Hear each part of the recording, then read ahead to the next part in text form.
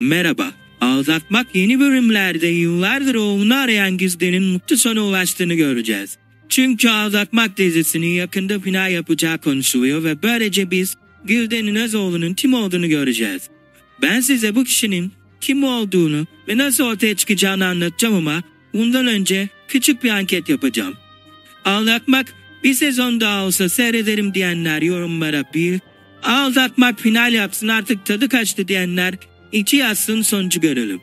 Gelecek bölümlerde Yüzde Cindar'la ilgili olarak yaşadıklarından dolayı yorgun göreceğiz.